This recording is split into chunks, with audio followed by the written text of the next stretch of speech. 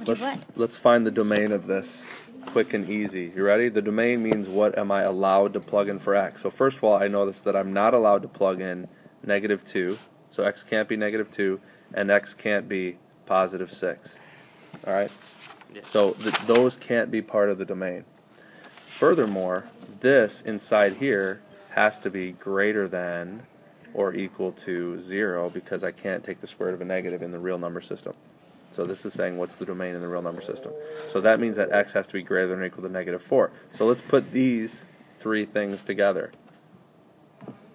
Do I have to say this? Does that matter anymore? No.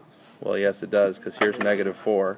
Oh, right. Oh, It can be from negative 4 bigger, but it can't be what? Negative two. So I have to open that circle, and I have to open that circle.